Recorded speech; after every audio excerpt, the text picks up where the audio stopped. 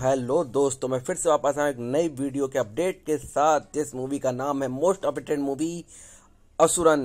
जी हाँ तो असुरन के बारे में हम बात करेंगे, जिसमें मेन लीड में है धनुष, मंजू वरियर, कैन, पशुपति, प्रकाश राज। और ये मूवी लास्ट ईयर ही रिलीज़ हुई थी सॉरी 2018-19 में, जो कि बहुत दिनेश की अब तक धनुष की अब तक की बहुत अच्छी मूवी में इसको बताया जाता है। टॉप रेटेड मूवी है ये। और ये मूवी जो है ये बहुत जल्दी हिंदी में डब हो चुकी है और हिंदी में रिलीज़ होने को तैयार है। तो आज हम इसी फ़िल्म के बारे में बात करेंगे कि ये फ़िल्म कहाँ आने वाली है।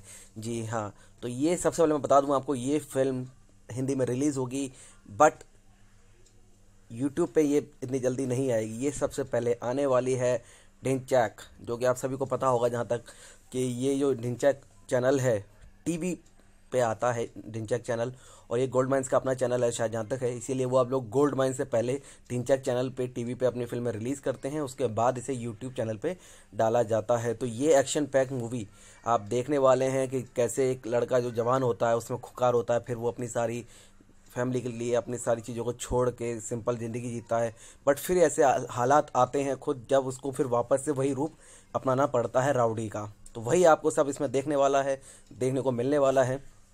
तो आप रेडी हो जाइए ढिंचैक चैनल पर इस मूवी को देखने के लिए और ये फ़िल्म 28 फरवरी की शाम को, शाम संडे को सात बजे ढिंचैक चैनल पर आएगी और जहाँ तक है उसको 24 से 48 घंटे के अंदर अंदर ही या सेम डे गोल्ड मैन के यूट्यूब चैनल पर भी आ जाएगी। अगर आपको ढिंचैक चैनल देखना है कि कहाँ मिलेगा तो वो स्क्रीन पर डिटेल आ रही होंगी, आप देख सकते हैं कि वो चैनल कहाँ देखने को मिले। तो